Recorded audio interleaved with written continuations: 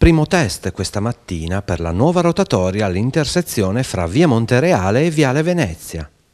Nella giornata di ieri è stato modificato l'incrocio con la rimozione dell'impianto semaforico e la realizzazione provvisoria e sperimentale di una rotatoria con barriere tipo New Jersey. La sperimentazione durerà alcuni mesi e consentirà di testare la fluidità del traffico e la funzionalità.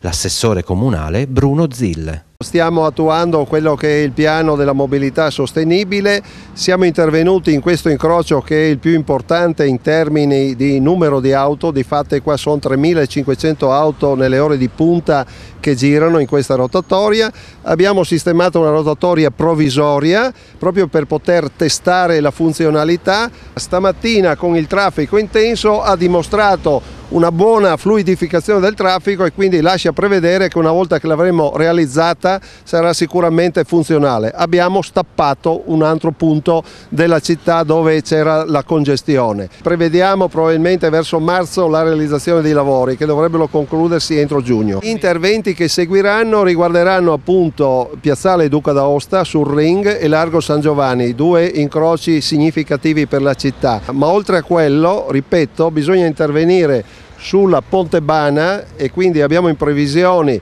di realizzare una serie di rotatorie in via Prasecco, in via Planton, via Dardago, dove sono interventi privati. L'altro incrocio importante è quello di via interna, ecco, su cui noi vogliamo intervenire, ma quello richiederà un po' più di tempo.